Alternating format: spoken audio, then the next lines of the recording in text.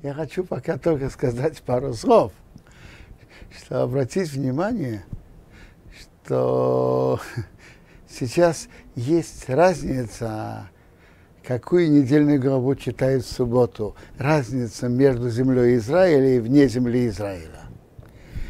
Э, в земле Израиля будут читать главу Гдошим, наступающую субботу, а вне земли Израиля будут читать главу Ахарей. То есть мы, они будут отставать от нас на, на одну неделю. А вы знаете почему? Очень просто. Э, седьмой день Песаха вы, выпал на пятницу. А следующий за ним, восьмой, выпал на субботу. В земле Израиля нет второго дня праздника. Соответственно, су- суббота совершенно обычная – и в ней читали главу Ахарей. А раз в ней читали главу Ахарей, то сейчас читают главу к души. А вне земли Израиля есть второй день праздника, это восьмой день Песаха, последний. И читали э, то, что читали чтение праздничных дней. И они будут читать главу Ахарей только в наступающую субботу. Вайдабер Адиной Омешер, Мер, говорил Бог Моше, говоря, Дабер, Окоазаз на Исраил, говори ко все общины сынов Израиля, вы Амартарем, скажи им, кидейшим тию, будьте святыми. Ки кодейш, потому что святой, а не Адиной Рейхам, я Бог ваш Бог. Вы связаны со мной с Богом, и поэтому будьте святы, так как я свят. Что значит будьте святы? Раши говорит – отдаление о запрещенных половых отношениях, которые Тора запретила, э, это называется святость.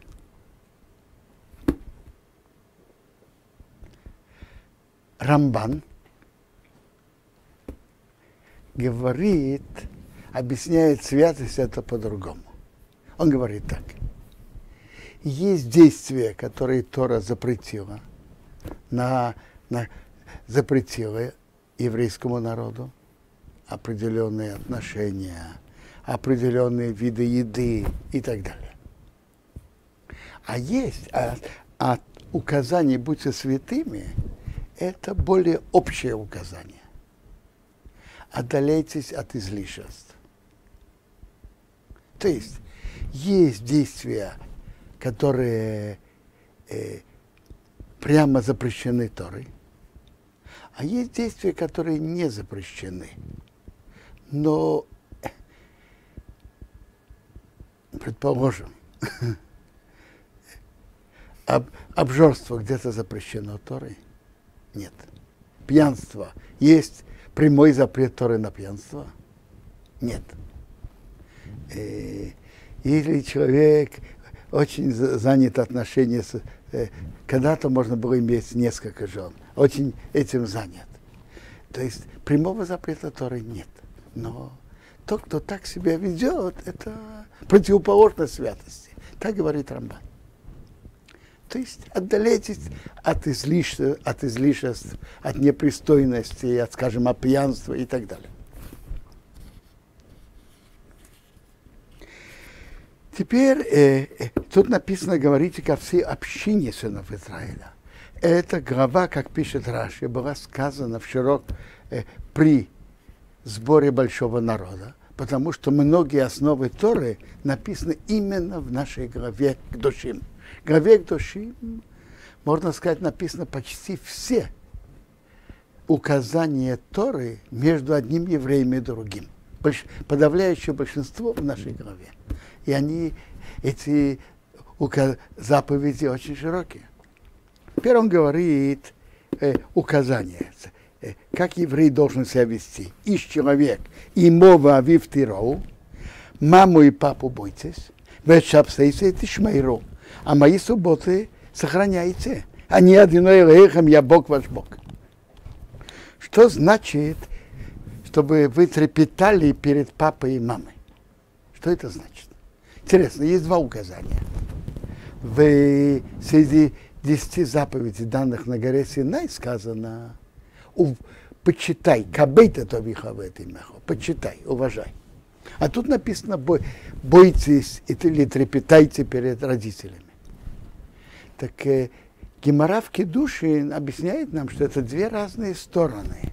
Есть почитание, э, принести, е, приготовить еду, принести, вынести, обслуживать. Это почитайте. Почитайте родителей. А бойтесь, трепетайте перед ними. Это относиться к родителям как людям совсем другого ранга. Скажем, не сидеть на месте папы, э, вставать перед ним, э, не спорить с папой, э, даже в какой-то вопросе политики, э, или физики, или математики, и сказать, папа, ты не прав, это не так. Это нельзя. С папой, с мамой. Э, то есть относиться к родителям как к людям совсем другого ранга. Я как-то слышал на это сравнение. Э, примеры жизни.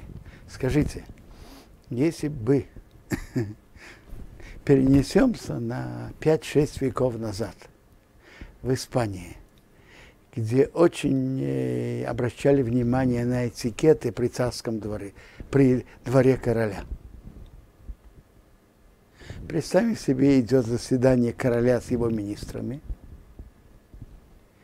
и король дает какое-то предложение в руководстве страны. Один из министров слышит, слышит это предложение и видит, что это предложение, как говорят, ни в какие ворота не лезет. Что, что этот министр скажет? Э, э, э, прибавим к этому, что министр хочет – чтобы его голова осталась на плечах. Он этого хочет. И можно его понять. Что он скажет? Уважаемый король, вы дали очень интересное и оригинальное предложение. Но если мы обратим внимание э, на положение дел, то мы увидим, что это может создать такую-то и такую-то проблему и так далее. Он затронул чем-то его почет? Нет. Подобно этому должно быть наше отношение к родителям, как людям совсем другого ранга. Теперь тут написано отца, мать и отца бойтесь. Талмуд говорит, не только отца. Обычно э, ребенок больше боится отца, чем мать. Так не только отца, но прежде всего упоминается мать. А помочь обслужить, что-то принести ребенку, э, быстрее он послушает просьбу мамы. Так там написано, почитай отца и мать. Не, то, не только мать, что тебе хочется, но и отца, а тут наоборот. бойтесь маму и, папу. Теперь написано, мать и отца бойтесь, а мои субботы соблюдайте. Как что она написана вместе. Так учат отсюда, правильно. Мать и отца бойтесь, но вместе с этим субботы мои соблюдайте. Я Бог ваш Бог. Я Бог и тебя, и твоего папы и мамы. То есть, если папа или мама просят э, сварить что-то в, в субботу для них, нельзя их слушать. То же самое, если они просят нарушить что-то, что Тора нам указывает. Нельзя их слушать. Мать и отца бойтесь, но субботы мои соблюдайте. Ведь я Бог ваш Бог. Я Бог и твой, и твоего папы. Аутифну элоэлилим. Не обращайтесь к идолам. Значит, не обращайтесь к идолам. Не интересуйтесь, как там буддисты или другие идолопоклонники, каким путем они служат своим идолам и так далее. Не, не, не занимайтесь этим. Не поворачивайтесь к идолам. Велаим асейхо, вылитых идолов рейсасовахам не делайте вам. Они одиное рехейхем. Я Бог, ваш Бог. То есть еврею нельзя сделать идол, даже если его кто-то просит. И готов заплатить большие деньги. Вехис из бахузавах шромим одиной, когда принесете жертву шрамим. Привыкли переводить мирную жертву. Радиной перед Богом. Лецейхем тизбаху. Приносите это, что-то было вам желано. Беем зивхахам йохе умимохрос в день принесения, в день, когда вы режете его, будет едено, чтобы было съедено у Мимохорос и на завтра. Вана и сора адьема шлиши, боишь и сорев. А то, что останется до третьего дня, будет, должно быть сожжено в огне. То есть шламим имеет максимальное время право есть. Это можно есть в тот день, что резали, и на завтра. Предположим, вот если бы стоял храм, и кто-то принес бы такую жертву, допустим, сегодня утром, можно его есть сегодня, ночь между сегодня и завтра, и завтра до захода солнца. А что, что остается, надо на, на послезавтра утром сжечь в огне. А если съедено, будет съедено в третий день, Боим Ашлиши, пигу это противно, не будет принято. Вейхов, а кто ест, а вейна Иса будет нести свой грех, кескидеш одиной хилил, потому что он сквернил святость Бога. В них ресо анефеш ахи меамео, и будет отрезана та душа от своего народа. Вообще есть два закона. Первое, если осталось мясо от жертв, на третий день кто-то ест, так это противно. И тот, кто это будет есть, ему полагается э, карет, отрезание его души от источника. Есть еще закон, если кто-то во время, когда он резал, или когда брызгал кровь Коэн, имел в виду, чтобы есть после времени, тогда же потом он захочет есть эту жертву вовремя, эта жертва уже противная. Потому что при, при действиях, которые были при принесении ее, было, было сказано, что ее будут есть после времени, то эта жертва уже противна. Ее нельзя есть, и кто ест, полагается карет, отрезание души. А теперь мы переходим в отношениях между людьми. Забота о бедных. Когда будете женать жатву вашей земли, рисхала не заканчивай па сот холикцер край твоего поля женать. Верекет к цирхо рис ракет. Единичные э, колосья твоей жатвы не, не подбирай. То есть если упали единичные колосья, один или два, не подбирай. Верха, это интересно. Тогда, как мы читаем в книге Рут, э,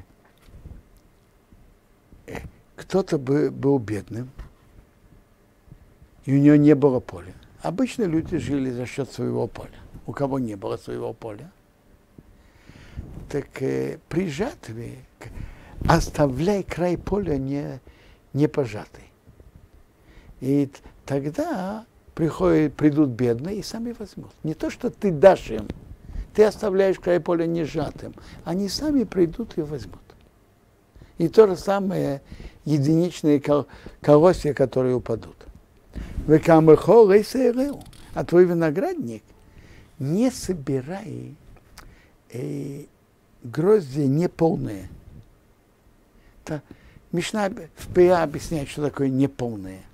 То есть единичные грозди выходят. Так такие э, гроздья не собирай.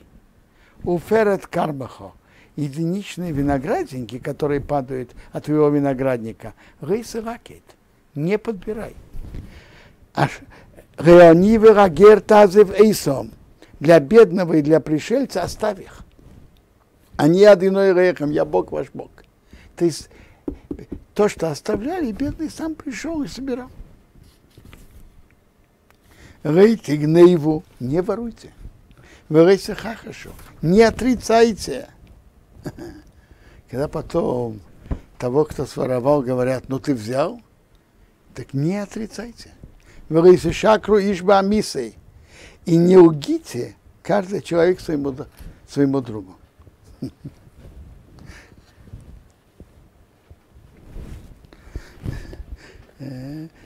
Я видел, я слышал шутку. Тут написано в множественном числе «не воруйте». По-настоящему на Рашона Кодыш нет, нет такого, чтобы кого-то называли множественным числом, потому что он уважаем. Нет, нет такого на иврите. На других языках есть. Я слышал шутку. Есть такие, как бы считаются люди очень уважаемые. Но бывает, что они воруют. Уважаемые, вы, пожалуйста, не воруйте. Велес еще в Двишми Рашокер. Не клянитесь моим именем ложно. Вехирал то ты осквернишь от Шемелехо, имя твоего Бога, а не один я Бог. То есть, если человек клянется именем Бога ложно, он оскверняет имя Бога. Как это? Он хулит имя Бога. Почему? Потому что что такое клятва? Клятва связана с именем Бога. И содержание клятвы, чем человек клянется всегда, что это значит? Как э, самым святым, что есть. А что есть самое святое в мире? Существование Бога. Так ложно клясться – это хулит имя Бога. Рейсашекес реахо, не, не грабь твоего товарища. Э, вот лашик это значит, кто не платит работнику, твоего товарища. Рейсик сделай не грабь. Рейс солин, чтобы не переночевало пура сохир, работа наемного рабочего, и с тобой от бока до утра. Значит, если кто-то у тебя работал и закончил до заходом солнца, ты должен ему заплатить в течение ночи кто работал ночью, ты можешь ему, обязан ему заплатить до захода солнца.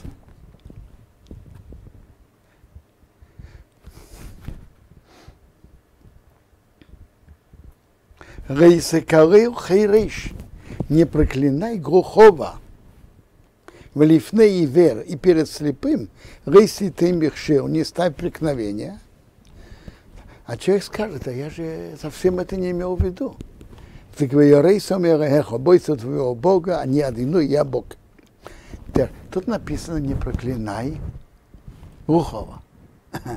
А в другом месте написано не проклинай князя, то есть царя.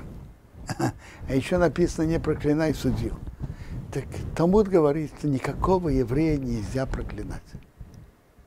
Но даже, даже глухого, который же не слышит, как его проклинают, даже его нельзя и перед слепым не стань преткновения.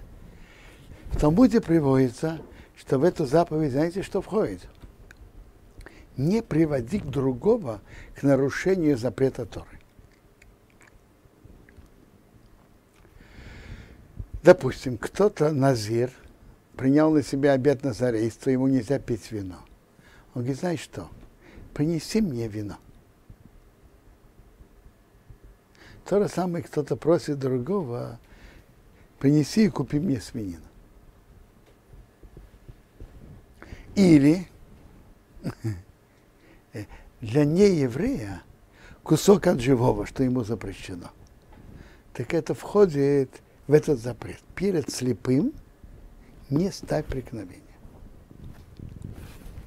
Рейсасу овелба мишпот. Не делайте несправедливости в суде так с одной стороны, Рейсисов Нейдол, не поднимай лицо бедного. С другой стороны, Варейседар Пнейгодыл, не, не украшай лицо великого. Великого это может быть большой богач, а может быть сенатор или министр.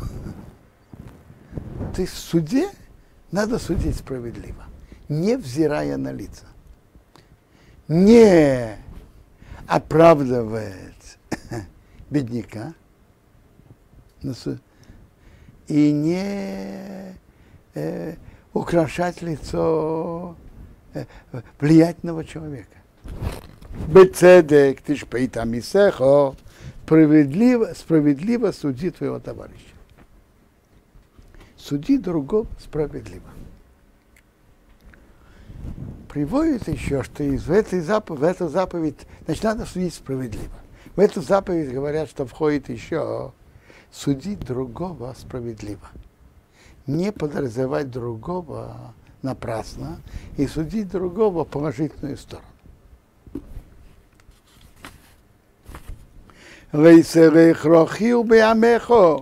Не иди сплетничай в твоем народе. Не говори на другого сплетни, или не говори на другого что-то нехорошее, что он сделал то-то и то-то. Э, даже это правда. Не стой при, при проливании крови твоего товарища, а не от иной я. Почему поставлены одна возле другой эти две заповеди? Не иди сплетничать и не стой при проливании крови твоего э, товарища. Во-первых, что значит не стой при проливании крови твоего товарища? Если кто-то из нас знает, что евреи находятся в беде, опасность бандитов, разбойников, опасность пожара, утонуть и так далее, э, злые звери – ты, ты обязан приложить все твои возможности, чтобы его спасти. Не стой при поливании крови твоего товарища. А почему написаны эти две заповеди одна возле другой? Они связаны. Если кто рассказывает сплетни о другом, то может быть тот, о ком рассказывает сплетни, он услышит, как кто-то говорил о, о нем так-то и так-то, он не захочет спасти того, кто это, кто это рассказал, или того, кто это делал. Так одно может привести к одно нарушение, приводит к нарушению другого. Не, не рассказывай сплетни.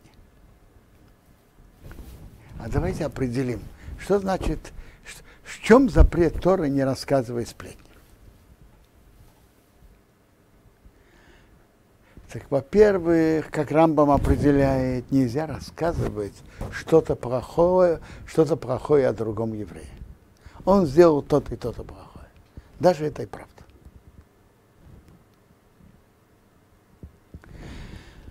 Бывает исключение,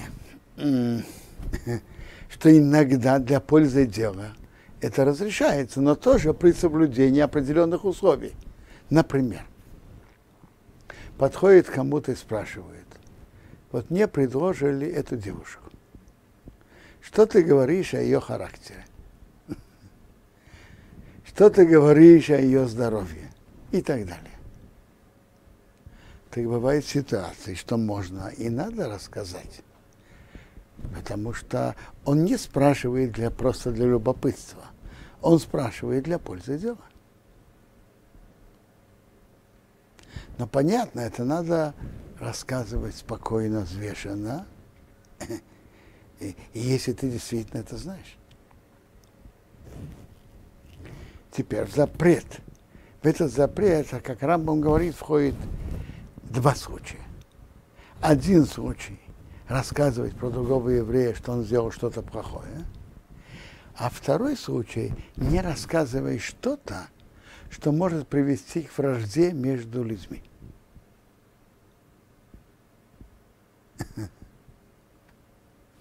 Даже ты не рассказываешь что-то плохое о другом.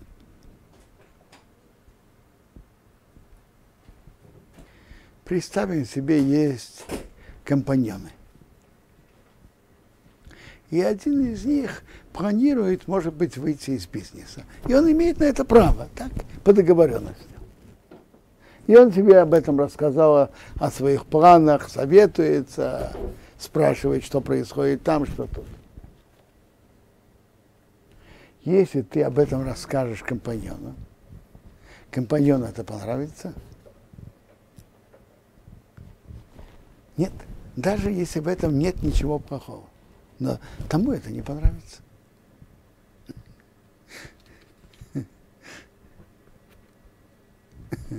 Или рассказывают.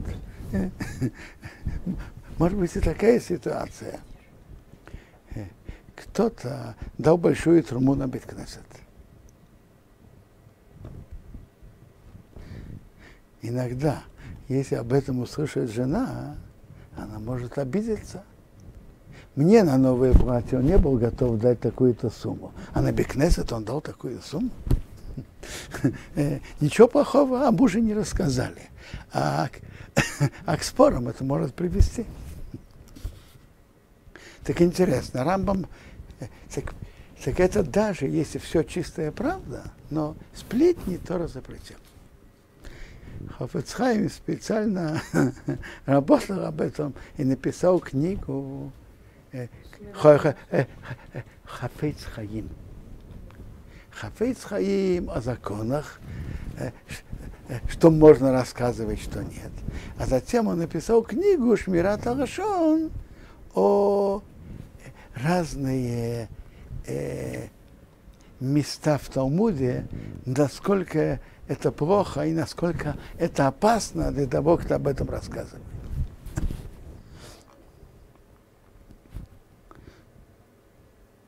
Одной из сторон, что это особо опасно, знаете почему? Вы знаете, что из основных качеств, с которым Бог ведет наш мир, свой мир, наш мир, это мера за мером. У каждого из нас есть положительные действия, а, к сожалению, и, и отрицательные. Так вопрос, на что на небесном суде будут обращать внимание? Так во многом это зависит от, от того, как мы, что мы говорим о других. Тот, кто говорит о других и говорит о, не, об, о них отрицательное – так на небесах говорят, ну, ты говоришь отрицательные других, ну, давай про, посмотрим твои отрицательные стороны. А это очень-очень невыгодно. Рейсисное сохи хобил вовехо. Не имей ненависть твоему товарищу, твоему брату в сердце. Твой брат, значит, любой еврей. Не имей ненависти к другому в сердце.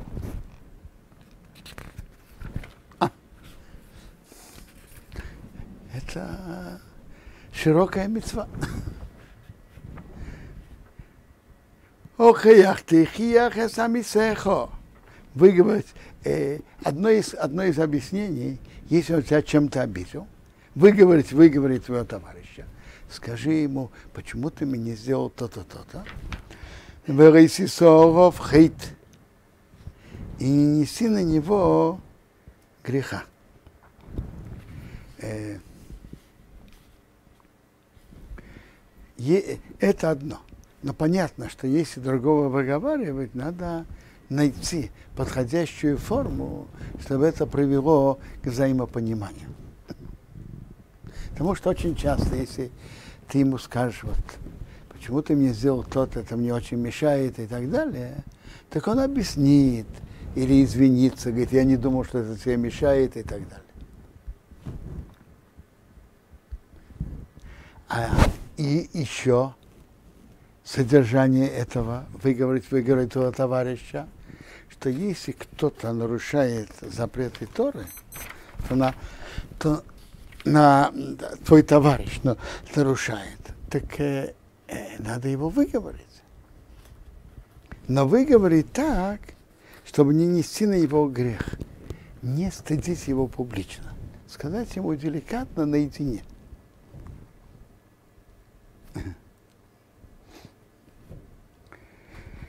Но это идет к тому человеку, которому ты можешь выговорить, и он, э, э, может быть, тебя послушает и послушает.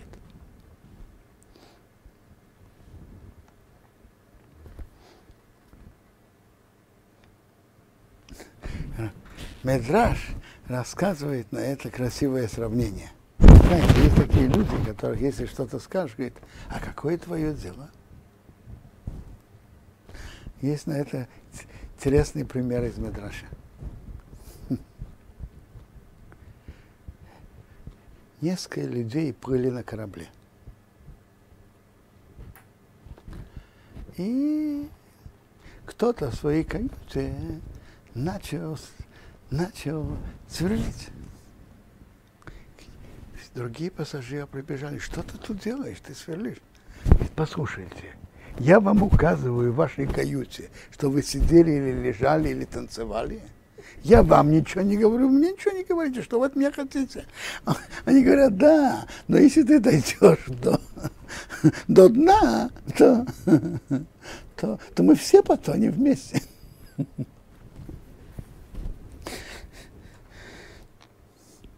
И чем кончилось? Это пример из Мадраша. То есть мы, весь еврейский народ, они все в одном корабле. И каждый несет ответственность за другого.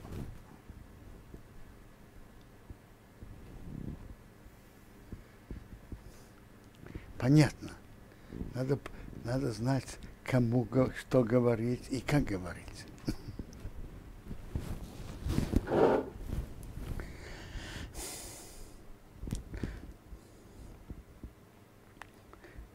Ры- э, с- с- содержание этого должно быть.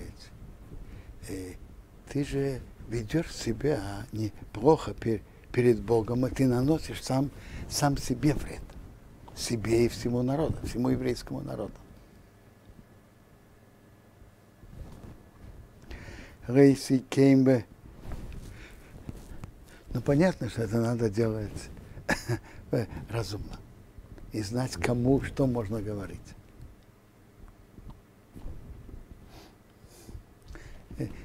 В этом вопросе, как говорят, быть телеграфным столбом не надо. Неямехо. Не мсти и не сохраняй злобу сыновьям своего народа. Что значит не мсти, не сохраняй злобу? Так наши мудрецы приводят очень простой пример. Один попросил другого одолжить топор. Тот ему не захотел одолживать. Через какое-то время тот, кто не хотел одолживать, пришел к нему, «Э, одолжи мне, пожалуйста, пилу. Если он скажет, ты мне не одолжил, я тебе тоже не одолжу. Это значит мстить. А если он скажет, на тебе, я не как ты, ты мне не одолжил, а я тебе одолживаю. Это значит сохранять злобу. Комейхо. Люби твоего товарища как себя, а не одиной я Бог. А, эта мецва очень широкая. Люби твоего товарища как себя. А что значит люби твоего товарища как себя? Я вас спрашиваю. У кого-то есть товарищ. У него есть, я не знаю, вилла, деньги в банке, это э, несколько машин. Это значит, что он должен поделиться с ним. Не это то, что велит нам Тора. Люби товарища как себя, чтобы ты желал, что у другого было хорошо и экономически, и его положение в обществе, и здоровье, и все. Желай другому всего хорошего, как ты желаешь себе, чтобы ты отдалился от плохого качества зависти. Это мецва очень широкая. Э, Как раз в нашей главе есть эти две э, заповеди, запрещающие не имей ненависти к твоему брату в сердце и повелительное люби твоего товарища как себя.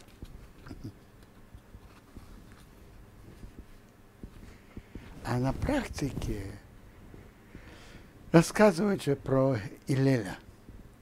Когда один человек, который интересовался еврейством, спросил его, скажи мне, а что, что Тора нам указывает, пока я буду стоять на одной ноге? Что ему его ответил? То, что ты не хочешь, где, чтобы тебе делали, не делай другому. Что еще раз можно? Э, то, что ты не хочешь, чтобы делали тебе, не делай другому. Это очень широкое правило. Каждый из нас хочет, чтобы над ним говорили приятно и интеллигентно.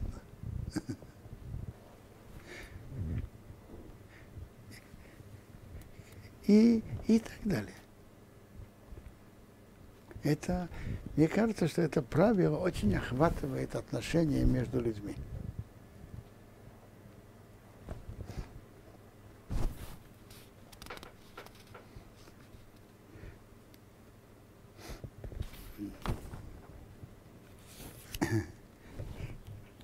Интересно, есть мицвод, связанные с разными органами. Вот, например, когда мы читаем шма, это мы говорим устами. Тфилин мы накладываем на руку и на голову. А любить твоего товарища как себя и не иметь ненависти к другому, это связано с сердцем. Сердце должно быть здоровым, иметь любовь к другим евреям и не иметь ненависти. Вы знаете, что говорят врачи, если у кого-то сердце больное? Что они говорят? Он очень серьезно болен.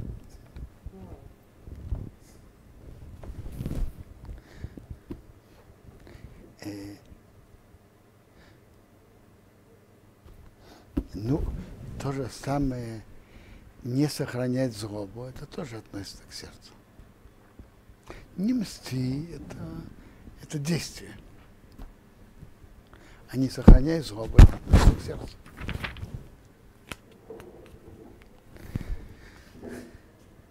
Интересно. Есть разные причины, что человек не любит другого. Одна из довольно частых причин, это знаете, какая? Что кто-то кто-то завидует другому. Зачастую эта зависть, она выдуманная. Это фантазия. Вы знаете, что говорят? Что трава на огороде другого более, зелё- другого, более зеленая. Слышали об этом? Очень часто. Бывает так. Но даже если и правда, если у другого действительно идет удачно, а у тебя, допустим, нет. И, допустим, это объективно. Очень часто это, это фантазия. Человек у себя все видит в одном свете, а у другого в другом. Так, так природа многих людей. Но даже если это и правда, бывает иногда зависть, которая приводит к ненависти. Очень часто. Скажите, тот чем-то виноват, что он, я не знаю, более состоятельный, чем ты, более уважаем в обществе, более здоровый, у женщин более красивый и так далее, и так далее. Он чем-то в этом виноват? Я вам скажу, одно из корней этого отношения, что у человека есть внутреннее ощущение, что его удачливость, я не экономическое положение, я не знаю, семейное и так далее, положение в обществе, он берет за мой счет. Та- Такое внутреннее ощущение. Но это совершенно неверно. Каждый получает то, что ему полагается от Бога. И у Бога есть достаточно дать каждому. То, что, как тебе видится, он твоему соседу послал удачу, не за твой счет.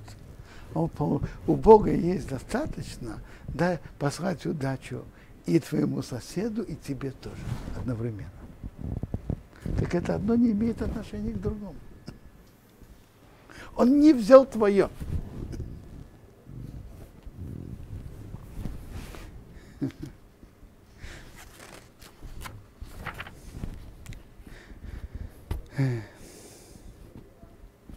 Дальше идет еще заповеди. Эсхукей сайты шмейру. Мои законы соблюдайте. Бехемтехо рейсарбия кирай. Твое животное не смешивай с другими видами. То есть нельзя скрещивать животных. Сотхо твое поле, рейсизраки роим. Не сажай разные виды.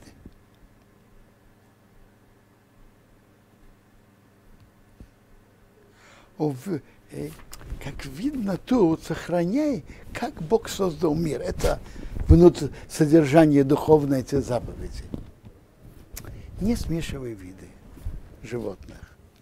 Не засевай поле несколькими видами. Увегет кираим шатнейс. Одежда кираим шатнейс. Рияре орехо, чтобы не взошло на тебя.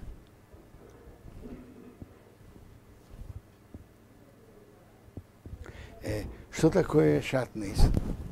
Шатнейс – это одежда, в которой смешаны и шерсть, и лен. Такую одежду нельзя одевать.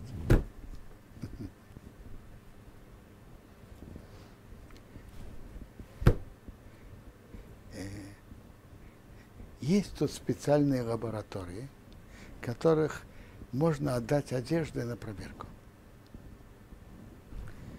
не проверяет, нет ли там шерсти, и нет ли одновременно льна.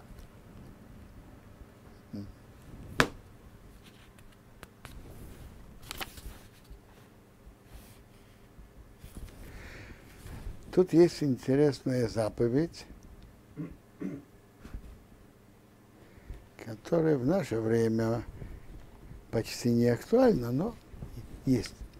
Вишки, ишка, сишаших вазера, кто будет лежать женщиной, виши в ханехареф иш.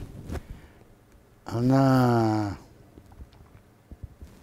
предназначена человеку, мужчине, выгобдила не вдоса, выкуплить она не выкуплена, и хувша, свобода ранитного не даны ее, бекеристые, должна быть проверка, рыюмсу не полагается смерть, кирей хупоша, она не освобождена. То есть так, если жен, женщина за, замужем, и кто-то, не дай бог, имеет с ней отношения, то и этой женщине, и тому, тому любовнику полагается смертная казнь. Но тут речь идет о другом случае. Э, была э, женщина, которая была рабыней, как Талмуд называет это гойская рабыня, Шевха Кнанит. И у нее было два хозяина, коллеги, партнеры точнее, и один из них ее освободил, а другой не освободил. И она обручилась с кем-то. То есть она половина освобождена, половина нет. И, она обручилась с кем-то. И кто-то другой имел с ней отношения, она еще не полностью освобождена, поэтому не полагается смертная казнь. Если она была бы освобождена, и после этого было бы обручение, полагалась бы смертная казнь обоим. Он принес свои жертвы Ашам Богу, а Песах и умеет входу в э, Мешкан, и Ошем, барана за Ашама, за грех. Вехиберова Кейн, простит на него коим бейлошем, барану ошем, лифна одиной перед Богом, а хатосы свой грех, а шахота, что он согрешил. Нисахай, ему и будет прощено, мехатосы от его греха, а шахота, что он согрешил. То есть он должен принести жертву, а ей полагается 39 ударов. Это такой особый случай. Вехисовею Эроорет, когда придете в, стра... в землю, в землю Израиля, он татем корец махоу, будете сажать все деревья, э, э, которые приносят плоды для еды. Варалте моргосы аспирги, что закрыли его плоды. Шел еще ним еохем арелим. Три года будет у вас арелим закрыто, лы йохел. Нельзя, чтобы это было съедено. То есть первые три года после посадки дерева нельзя есть его плоды. И это называется орла. И это запрещено не только есть плоды, запрещено иметь удовольствие от плодов.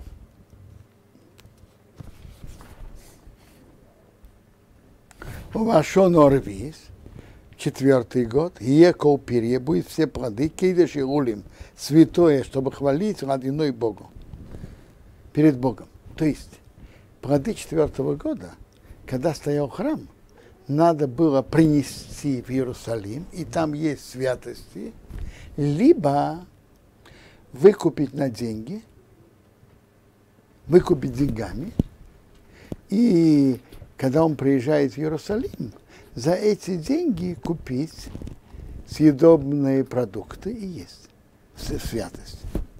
То есть четвертый год, плоды четвертого года имеют святость, можно их есть, но такой святости. Это имеет место и в наши, в наши годы тоже. То есть первые три года запрещены и есть, и использовать. А четвертый год – надо выкупить на монету.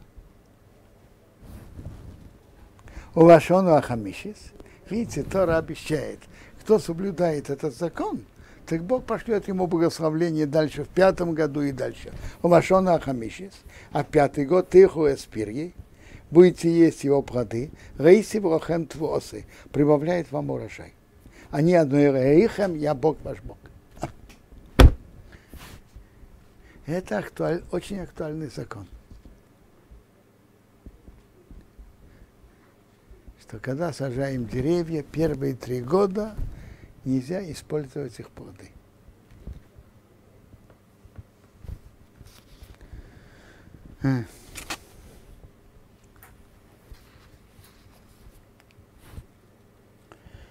Рейсейху арадом, не идите на кровь, на крови, как это не есть на крови, есть несколько э, э, пояснений в Талмуде. Одно из них, например, когда приносит жертву, чтобы не есть от мяса жертвы перед тем, как брызгали кровь. Рыть нахшу, не гадайте, верото нейну, и не дел, говорите времена. Вы знаете, кто-то скажет так – одолжи мне деньги. говорит, о, одолжить тебе в первый день месяца или в первый день недели, это, это плохое время одолживать. Нельзя так делать. Смотрите, кто-то хочет не одолживать, он молчит, он ничего не нарушает. Но говорить, это время плохое, это Тора запретил.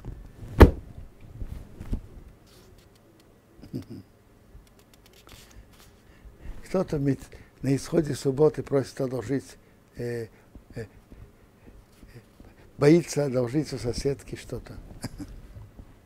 В начале недели начать одолживать. Это не, Тора говорит не смотреть на времена. Рейс Акифу пас Рейшхем. Не приравнивайте края вашей головы. Вы Сашхис и не уничтожай, и спас конехо, края твоей бороды. То есть тут края головы.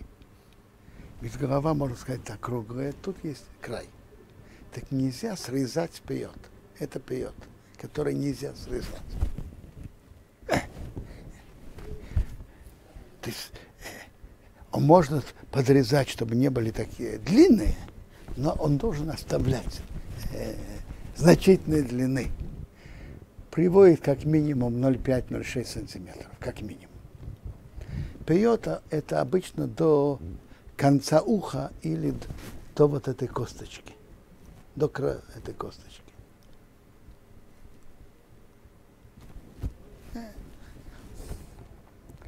А нельзя брить, брить брить, брить бороду, бритвой нельзя. Тут мы останавливаемся.